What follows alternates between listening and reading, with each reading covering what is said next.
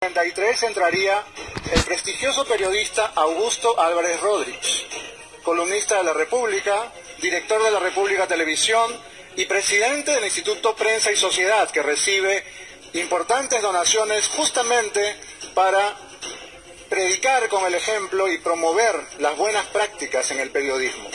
El señor Álvarez Rodríguez llegó a las 9 y 33 y se reunió con el presidente de Osinermin. Osinermin tiene como presidente al señor Daniel Schmerler, es un poco difícil el apellido, que Omar Avilla salió entrevistado en el periódico del señor Álvarez Rodríguez al día siguiente, el sábado, con un titular que dice, hubo negligencia de la empresa, se manipuló la válvula del tanque. Ese es el titular y simple, se acaba ahí la historia.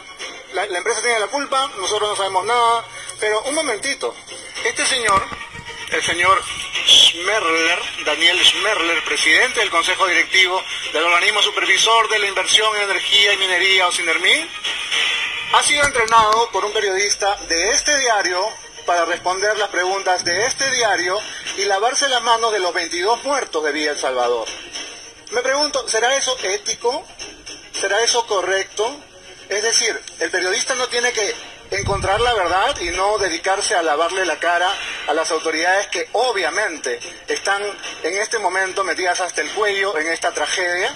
No, el señor Aderroy fue personalmente y entró, aquí está el reporte de entrada, a las 9 y 33 de la mañana y le dictó un curso, una clase relámpago al señor Schmerler para que salga airoso de la entrevista con su propio periódico, La República.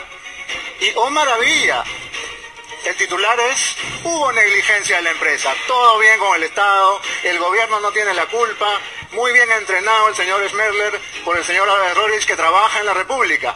Y oh maravilla, ¿qué pasó después? Ahí nomás, ese mismo sábado que sale publicada esta entrevista, absolutamente absolutoria, ¿no es cierto?, de Osinermin, ¿qué pasa? Reciben la visita nada más y nada menos que del propio excelentísimo presidente de la República, Martín Vizcarra, que va hasta la República a darle una entrevista exclusiva. ¿A quién? Augusto Álvarez Rodríguez. Oh casualidad. Al mismo Augusto Álvarez Rodríguez que acababa de cobrar 34 mil soles de mi plata, de tu plata y de la plata de todos ustedes, porque esa plata sale del Estado.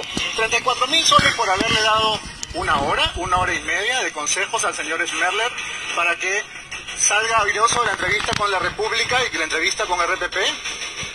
Bueno, ahí hay una alusión rápida a cuánto se puede contra cuál es la suma por la que se puede contratar, ¿no es verdad?